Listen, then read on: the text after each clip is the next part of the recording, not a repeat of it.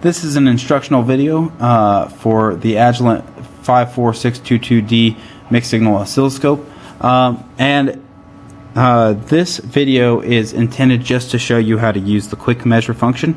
Alright, so I have a 60 hertz sine wave uh, set here with uh, plus and minus, uh, 1 volt. Okay, so uh, there are tools built into the oscilloscope to make measurements for you. You can do this by clicking on the quick measure button. Okay, and you can see here now uh, you can choose a source, meaning you can choose channel 1 or channel 2, um, and then you can select the type of measurement. So by collecting select uh, or clicking select, uh, you can choose to measure the amplitude, uh, the average, uh, the peak to peak, uh, etc. Uh, so you choose whatever you want to choose.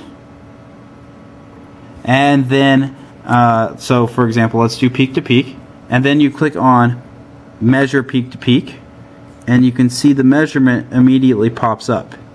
Now if I want to add another measurement to this, I can again click on select and uh, go up to, for example, frequency and then uh, click on measure frequency. And what it does is it adds yet another measurement. So now I'm measuring both peak to peak and frequency. I could do this a third time uh, and measure uh, the amplitude. So I measure the peak to peak uh, value. But perhaps I also want the amplitude or even the average.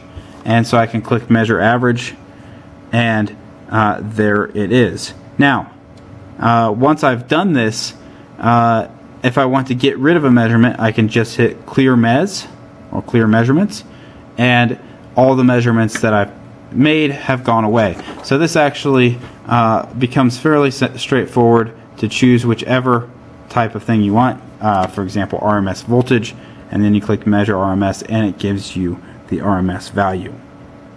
Okay, so the utility here is using quick measure and then uh, making selections and adding measurements to the screen as you want, wish.